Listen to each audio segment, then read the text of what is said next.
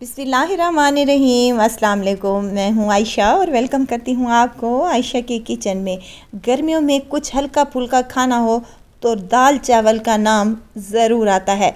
आज मैं बनाऊँगी दाल चावल की ये मज़ेदार सी रेसिपी जिसे खा कर आपको मज़ा आने वाला है। अक्सर हम दाल चावल घरों पर बनाते हैं, मसूर और मूंग की दाल से। लेकिन आज मैं सफ़ेद लोबिया की ये मज़ेदार सी दाल तैयार करूँगी, जिसको मैंने सर्व किया है ज़ीरे राइस के साथ। साथ में सलाद और मिल जाए अचार तो खाने का मज़ा दोबाला हो जाता है। तो चलते हैं रेसिपी की तरफ़ और बनाना स्टार्ट कर लेते हैं। बिस्मिल्लाह करते हैं। यहाँ पर मेरे पास है सफ़ेद लोबिया की दाल जिसको मैंने तकरीबन चार घंटे पहले भिगोकर रख लिया था। और अगर आपके पास टाइम है तो आप इसको ओवरनाइट के लिए भी सोख करके रख सकते हैं। चार घंटे भी इनफ हैं। ये फूल कर साइज़ में डबल हो जाएगी। तो हम अपनी आसानी के लिए, मैं यहाँ पर प्रेशर कुकर का इस्तेमाल कर रही हूँ। दाल का पानी स्टेन करने के बाद मैंने इसको प्रेशर कुकर में डाल दिया है और साथ में हाफ़ टेबल स्पून नमक और हाफ़ टी स्पून हल्दी शामिल की है। नमक इसलिए शामिल किया है कि हमारी दाल के एक एक दाने में जायका और टेस्ट आएगा इन ताला, और हल्दी से इसका कलर बहुत अच्छा आएगा। साथ में मैं यहाँ पर तकरीबन दो गिलास पानी शामिल किया है। दाल मेरे पास है डेढ़ पाव के करीब, और दो चम्मच मैंने इसमें कुकिंग ऑयल के शामिल किए हैं। ताकि दाल उभरे नहीं और हमारा प्रेशर कुकर ख़राब ना हो। तकरीबन 20 मिनट के लिए मैंने इसको प्रेशर लगाकर पकाया था और 20 मिनट के बाद मैंने इसका प्रेशर हटा लिया है और देखते हैं कि दाल हमारी अच्छी सी गल चुकी है या नहीं। तो ये देखें, दाल हमारी अच्छे से गल चुकी है, लेकिन दाना यहाँ पर बिल्कुल साबित ही रहना चाहिए। बिल्कुल इसी तरह आपने भी दाल को अच्छे से गला लेना है। इसके बाद हमने इसका मज़ेदार सा तड़का तैयार कर लेना है, जिसके लिए एक कप में ऑयल का पैन में शामिल कर रही हूँ। साथ में एक टेबल स्पून सफ़ेद ज़ीरा है मेरे पास और साथ में दो से तीन लौंग और यहाँ पर दालचीनी के कुछ छोटे छोटे से स्टिक्स हैं मेरे पास। अगर आपके पास बड़े स्टिक्स हैं तो आप दो शामिल कर सकते हैं। यहाँ तेज़ पत्ता भी शामिल किया है अच्छी खुशबू के लिए। हल्का सा कड़कड़ा जाए तो यहाँ पर दो मीडियम साइज़ के प्याज जिन्हें मैंने चॉप कर लिया है। ये इसमें शामिल कर दें। प्याज़ों को अच्छे से फ्राई कर लें।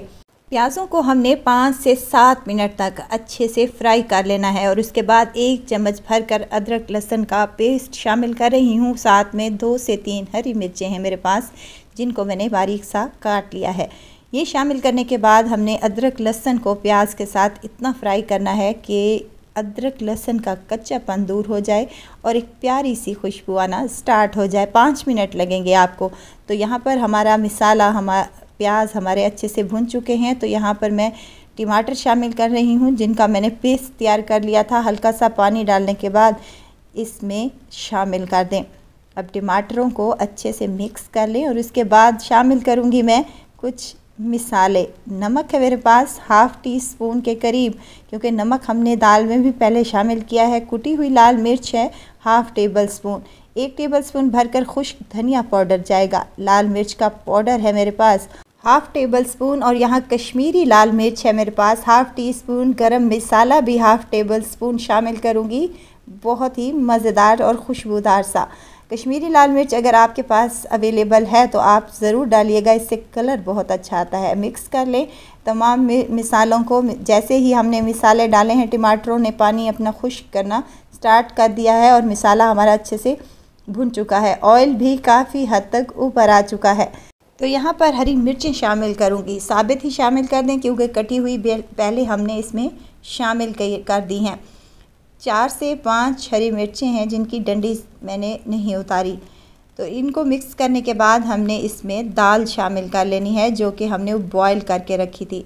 साथ ही पानी भी शामिल कर लूँगी, क्योंकि मैं इनको चावलों के साथ सर्व करूँगी, इसीलिए मैंने पानी इसमें शामिल कर दिया है और हल्की फुल्की सी मैं ग्रेवी रखूँगी। अगर आपने ग्रेवी नहीं रखनी तो आप पानी को साइड पर कर दें। इसको पाँच मिनट तक अच्छे से कुक करने के बाद मैंने इसकी फ्लेम को ऑफ़ कर दिया है। तो देखें, हमारी लोबिया दाल मज़ेदार सी तैयार हो चुकी है। इस पर डालूँगी मैं ढेर सारा हरा धनिया अगर तो वीडियो आपको ज़रा सी भी अच्छी लग रही हो तो लाइक करें, सब्सक्राइब करें और साथ में बेल आइकन के बटन को भी ज़रूर प्रेस कर दिया करें ताकि मेरी हर नई आने वाली वीडियो आप तक पहुँचती रहे। यहाँ पर मैंने ज़ीरा राइस के साथ इनको सर्व किया है। आप इसे रोटी, चपाती या फिर नान के साथ भी ले सकते हैं। बहुत ही मज़े की लगती है और गर्मियों में ख़ास तौर पर ये हल्का फुल्का सा खाना बहुत ही टेस्टी लगता है। तो एक दफ़ा मेरे कहने पर ज़रूर ट्राई कीजिएगा। इन ताला रेसिपी आपको ज़रूर पसंद आई होगी। रेसिपी पसंद आए तो लाइक, शेयर ज़रूर कर दें और अपनी फैमिली और फ्रेंड में भी ज़रूर शेयर किया करें। तो यहाँ पर मैंने दूसरी प्लेट भी लगा ली है। आप दो तरह से सर्व कर सकते हैं, साथ में सलाद और यहाँ पर मैं शामिल करने लगी हूँ इसके साथ अचार। मिक्स अचार है और मिक्स अचार की रेसिपी भी मैं ऑलरेडी आपसे शेयर कर चुकी हूँ। बहुत ही मज़ेदार, चटपटी और टेस्टी सी और हल्की फुल्की सी, खाने में बहुत ही लजीज और देखने में बहुत ही खूबसूरत। एक दफ़ा ज़रूर ट्राई कीजिएगा और दुआओं में मुझे ज़रूर याद रखिएगा। खुश रहें, खुशियाँ बाँटें, इजाज़त चाहती हूँ, फिर आऊँगी इन एक नई और मज़ेदार सी, चटपटी रेसिपी के साथ। आयशा को दीजिए इजाज़त, अपना बहुत सारा ख्याल रखिएगा, दुआओं में मुझे याद रखिएगा।